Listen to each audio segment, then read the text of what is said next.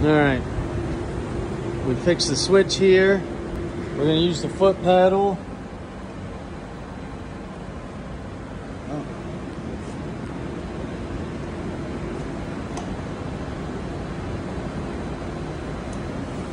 Need to open up the switch. Chuck jaw's just open.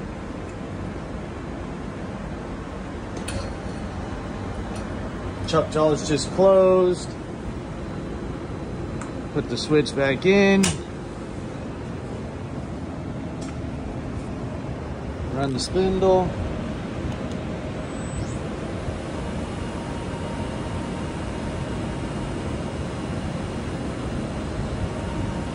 So everything's working. Switch is now happy.